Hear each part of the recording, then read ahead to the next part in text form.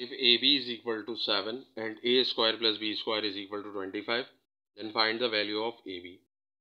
In order to solve this problem, we will use an algebraic identity which is A plus B whole square is equal to A square plus 2AB plus B square.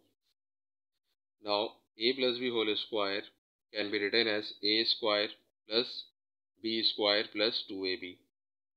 By commutative law, 2ab plus b square is equal to b square plus 2ab.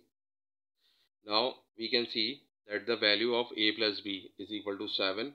It is given in the question. So we will put 7 in place of a plus b. And we can see that a square plus b square is equal to 25.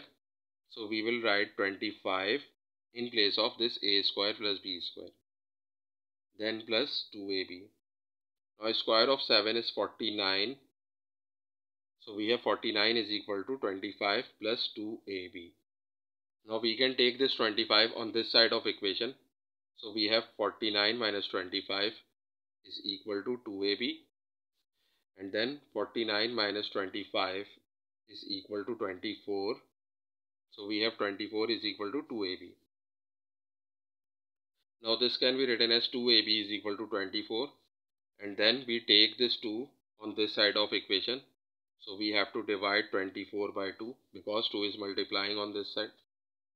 Now the value of AB is equal to 24 upon 2 which is 12 so we have AB is equal to 12 and this is the required answer